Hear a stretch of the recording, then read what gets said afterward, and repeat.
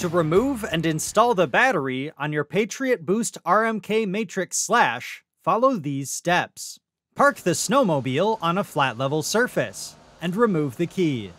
Remove the right side panel by turning the 3 quarter turn latches.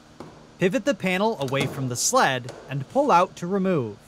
Then, remove the push pin rivet securing the lower right portion of the console.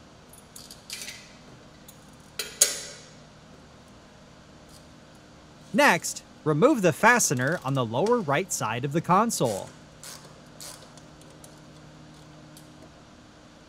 Continue by pulling the lower fender out of its retention clip in the footrest.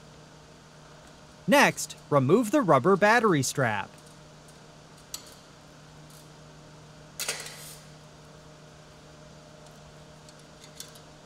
Then, lift the battery cover up and out of the sled. Next, remove the negative battery cable first to prevent arcing and set aside. Reinstalling the fasteners into the battery posts will help prevent misplacement. Then, remove the positive cable protector boot. Next, remove the positive battery cable and set aside.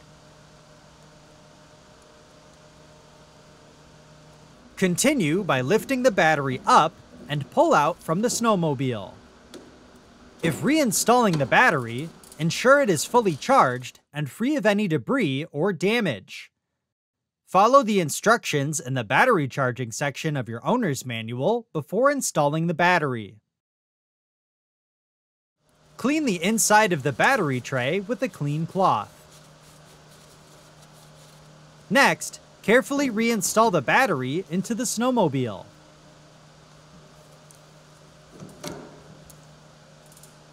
Next, reinstall the positive cable first to prevent arcing.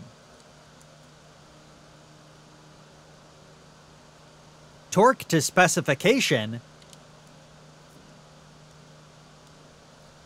and reinstall the protector boot.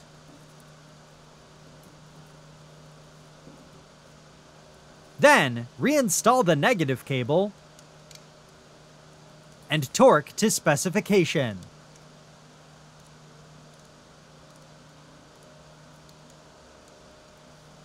Before reassembly, verify the cables are secure and properly routed.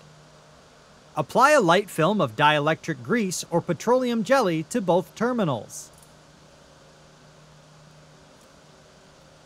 Then, carefully reinstall the battery cover and ensure not to contact the positive terminal. Continue by reinstalling the cover strap by hooking it to the tab behind the battery and then securing it to the front tab.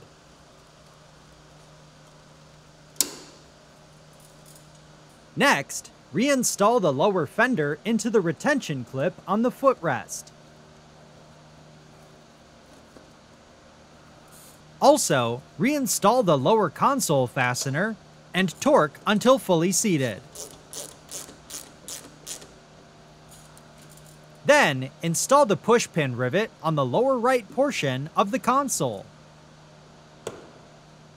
Next, reinstall the side panel by inserting the upper tab and pivoting in to engage the lower tab. Finally, latch the 3 quarter turn latches to secure the panel. Finish by starting the snowmobile to verify the battery has been connected properly. For more information, see your authorized Polaris dealer or visit Polaris.com.